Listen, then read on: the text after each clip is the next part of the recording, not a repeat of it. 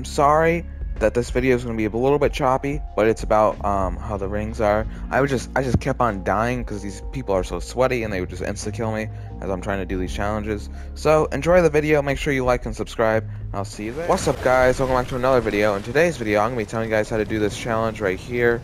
That's uh, get rings, which collect the floating rings. What you want to do is you on this side of the tree, you want to go over here and there should be a bunch of rings like this one right here. You're probably gonna need some mats to get up there. And so I would suggest just you know pickaxing stuff and you know building up a little bit. And there's one right there.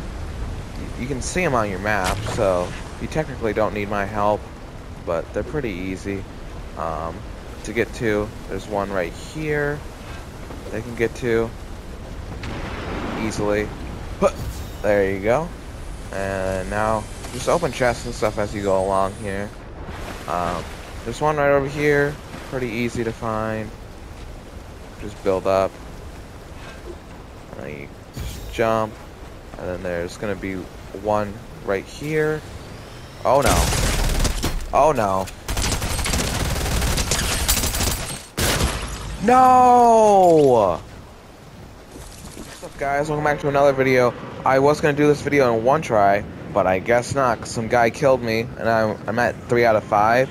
So basically, what you guys want to do is you want to drop right down here by this tree, and you want to kind of go up to, to where like the path is that goes up.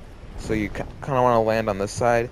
There's a chest spawn right here that you could possibly grab if you know you don't have a bad guy like that doing that. So you just want to go up this little tree path here. There should be, you know, one ring, you know. Um, let me, uh, uh, uh, uh, there we go. Um, buddy, chill out. Um, this guy kills me. Alright, so the last one right here. Bing bong, right there. Thank you guys for watching, and I'll see you guys next time. Peace out.